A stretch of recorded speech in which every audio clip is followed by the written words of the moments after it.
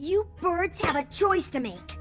You can let some cloven-hooved storm king tell you how to live your lives, or you can be awesome again, Rainbow Dot. But there's a light shining deep inside beneath those fears and doubts, so just squash them.